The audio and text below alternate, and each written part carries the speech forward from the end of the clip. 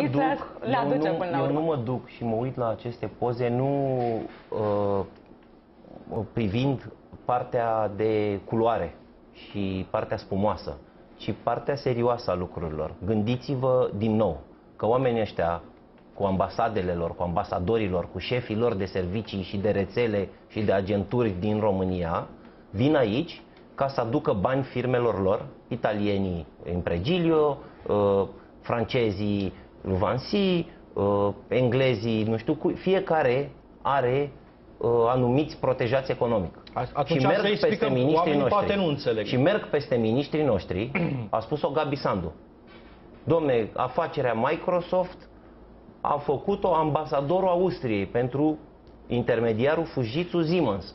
Când m-au numit ministru, am vrut să deschid ușa la birou și nu se deschidea ușa pentru că pe partea elaltă era ambasadorul Austriei care deja mă aștepta.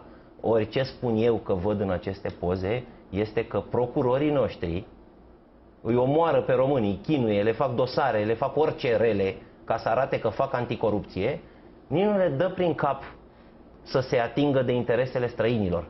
De ce? Pentru că stau la sindrofii și la uh, suici fierte cu ambasadorii și cu șefii serviciilor străine. În Ori cazul întrebarea acesta mea discutăm este, de sunt un oficial procurori români, american. sunt procurori români sau sunt procurori străini? Dar că nu- despre asta, asta mi se pare mie o problemă mare. Că împreună cu rețeaua lui Soros, care își face partid și vrea să guverneze România și să dreneze banii în afara țării, împreună cu interesele ambasadelor și ale firmelor străine, toți aceștia lucrează la a scoate bani din România. Zeci de miliarde pe an. Eu am calculat peste 200 de miliarde. Iar doamna Chioveși și procurorii de acolo erau cei chemați de lege, de țară și de oameni să ne apere.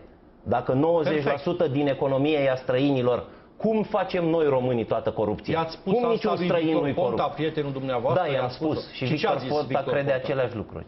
Păi și ce a făcut patru ani? Trei ani jumătate? Cred cât a că fost a premier? fost un guvern care s-a chinuit și și-a dat silința și a și reușit să țină cu românii.